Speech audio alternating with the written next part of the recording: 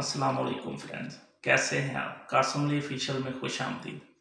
तो फ्रेंड्स, पिछली वीडियो में मैंने आपको बोला था कि ओनिक सिम के बारे में आपको मैं 24 घंटे के बाद बताऊँगा कि लाहौर में किस किस एरिया में इसकी क्या परफॉर्मेंस है।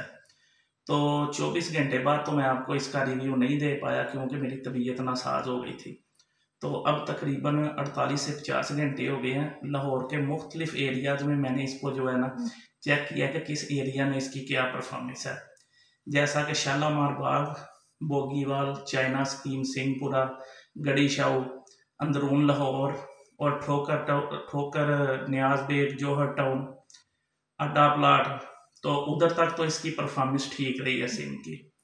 तो जैसे ही अड्डा प्लाट से जाती उमरा की तरफ़ जाते हैं तो उधर ए डब्ल्यू टी सोसाइटी है, मुस्लिम नगर है तो उधर इतनी अच्छी परफॉर्मेंस नहीं है, क्योंकि उधर जैज़ वारिद, यूफोन और टेलीनोर, उनकी भी परफॉर्मेंस बिल्कुल ही अच्छी नहीं है। इनकी उससे तो थोड़ी सी बेहतर है, लेकिन, उतनी अच्छी नहीं है जितनी इसकी लाहौर में है। लाहौर में सो, लाहौर में तो इनकी, उनसे काफ़ी ज़्यादा बेहतर अच्छी परफॉर्मेंस है, ठीक है? तो इधर इसकी जो है ना उतनी परफॉर्मेंस अच्छी नहीं है जितनी उधर है। अब इधर हो सकता है कि ये भी हो सकता है इशू के नवाज़ शरीफ का घर है पास तो उधर जैमर वगैरह लगे हों। इस वजह से इधर ये मसला आता हो, क्योंकि इधर किसी एक नेटवर्क का ये मसला नहीं है। सभी नेटवर्क्स का मसला है। जैज ले लें या वारिद ले लें, जोंग ले लें, आप टेलीनॉर ले लें, जो मर्ज़ी नेटवर्क ले लें, यही मसला है इसका। और इसका, इसको मैं बेहतर इसीलिए सबसे ज़्यादा बोलता हूँ कि सबसे अच्छी ये सिम अभी तक फ़िलहाल बेहतर है। क्योंकि 20 साल हो गया मुझे 20 साल से भी ज़्यादा ही अरसा तकरीबन हो गया जैज़ का नेटवर्क यूज़ करते हुए, ठीक है?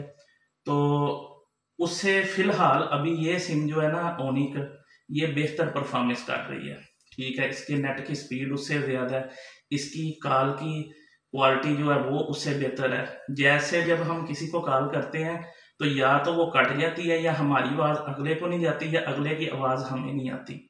तो इसमें ऐसा अभी तक कोई भी इशू नहीं आया। तकरीबन काफ़ी ज़्यादा कॉलें तकरीबन लगा लें कि सेवेंटी से एटी कॉल्स मैंने की हैं। एक भी इसकी कॉल जो है ना परफॉर्मेंस वाइज ख़राब नहीं हुई कि आवाज़ कट जाए या अगले की ना आए या हमारी अगले के पास आवाज़ ना जाए, ऐसा कोई भी मसला नहीं आया। लेकिन जैज़ के, जैज़ नेटवर्क है उसकी हर दूसरी कॉल पे यही इशू आ रहा है। या तो उसके सार्फिन की तादाद बढ़ गई है और उसका जो सिस्टम है वो पुराना है। तो इसका जो है जदीद टेक्नोलॉजी है, इस वजह से हो सकता है कि इसकी परफॉर्मेंस फ़िलहाल बेहतर हो। जैसे जैसे ये टाइम गुजरता जाएगा तो तब तो पता चलेगा कि ये क्या आगे जाके परफॉर्मेंस दिखाती है। ठीक है?